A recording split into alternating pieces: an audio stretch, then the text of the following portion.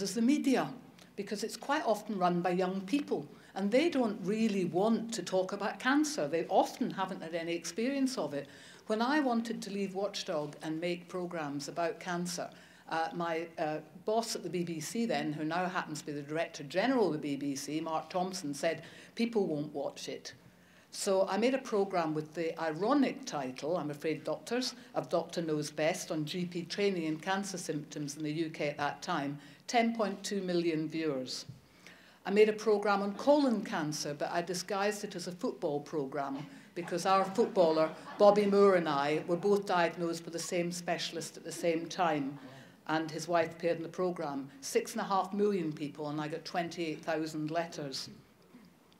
When you're doing screening campaigning or trying to get it in the media, if you're trying to reach people in, as in England 60 to 69 or Scotland 50 to 74, you disenfranchise all the other people in not, that, not in that age group. So one of the things that I did was I produced a symptoms line. I've also helped to change the symptoms advice for the UK with evidence-based symptoms. And that was three minutes. Now, you wouldn't think me talking about bleeding from your bottom would be the best thing you've ever heard in the UK. But on day one, it got 156,000 attempted calls. And that's just two slots on breakfast television. I can't recommend breakfast television warmly enough, quite apart from the fact my husband's a breakfast television presenter still. Um, it just, when people see something on breakfast, they can then go off and do something about it. They watch it the night before, they think that's interesting, but the next morning they've gone off the boil. So if you want to get your message across to me, apart from Katie's show, Breakfast Television, now, I'm not going to show you the kind of stuff I've done in the UK. I've been doing it for a long time. But just think about who's the most difficult person, the most unlikely person to talk about screening in your countries and go for them Here's who it is in the UK Prince Charles. Can you imagine him on every, every news broadcast saying everyone's got to talk about bottoms and bowels? But we did it. Then, you know, think of anything that will get you in the media. Here's one that I did. I rushed out and bought sexy undies. Um, and that was a headline in, in, in a daily newspaper.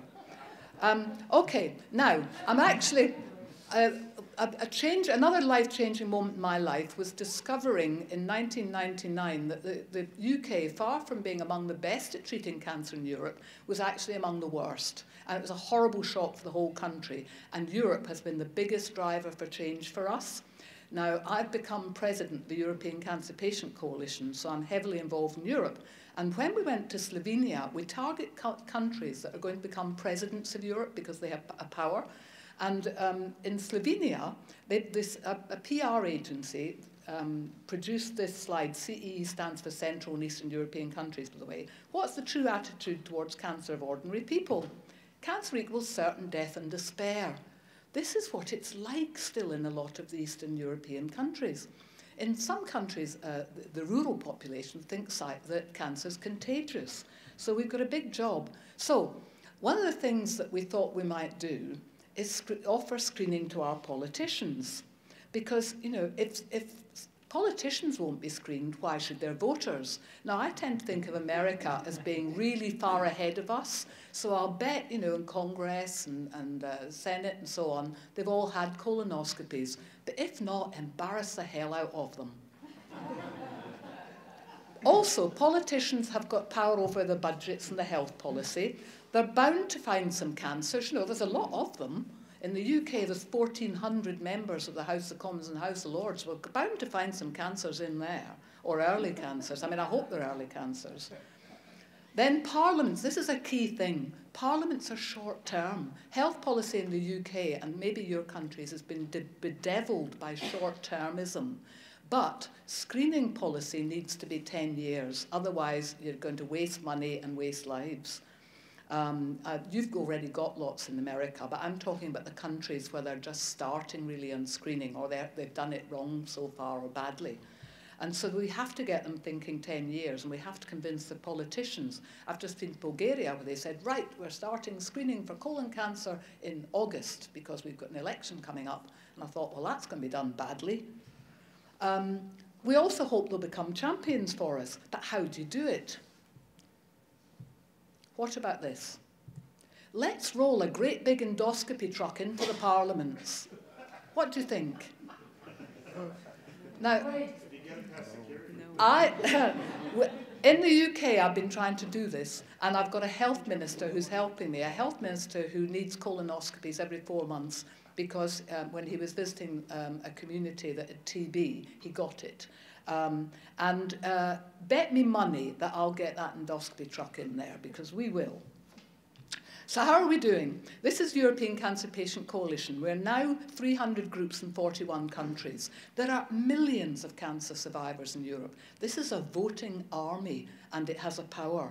And we're also partners in developing the colorectal cancer screening guidelines for Europe. I, I, I love the words uh, quality assured and accreditation and so on. That's what we should all be about. And we've seen great presentations about that today. Slovenia had the presidency of Europe, and they managed to get all the health ministers to agree to put cancer uh, top of the health agenda.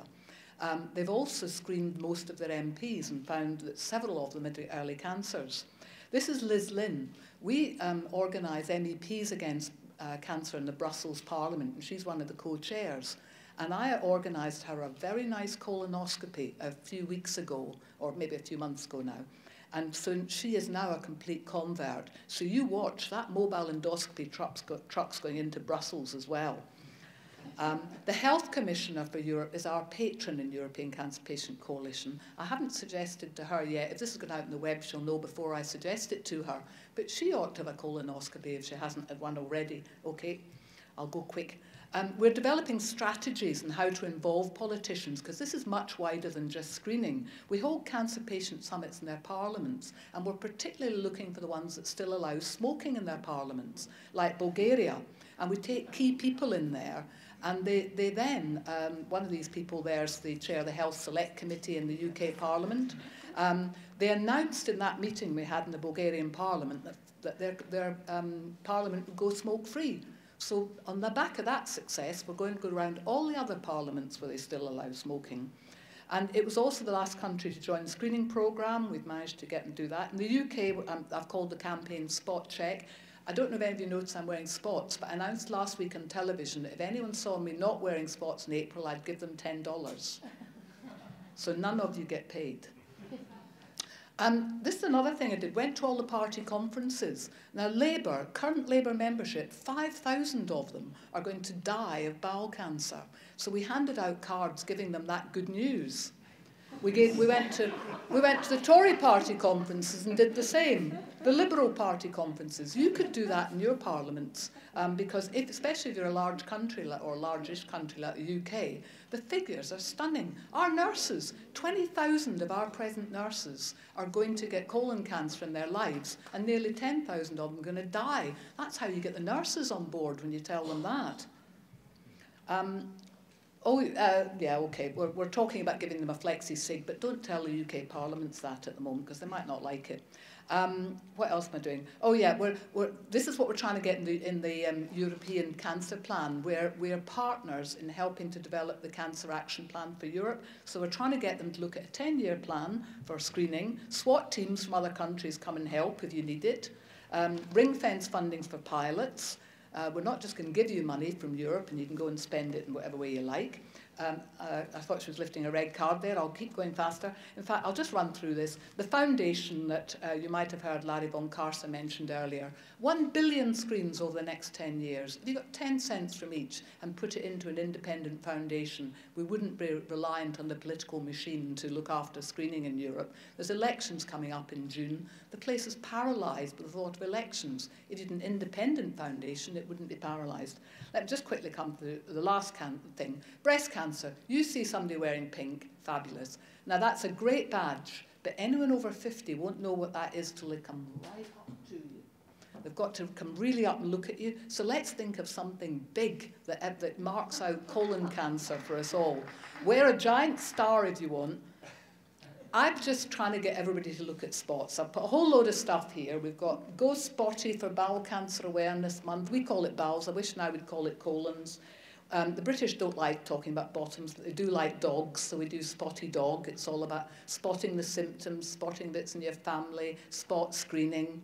If you want spots, you can have them. You can have any of this stuff here, or pick something else. But let's think of something big for colon cancer because it deserves it. Thank you very much.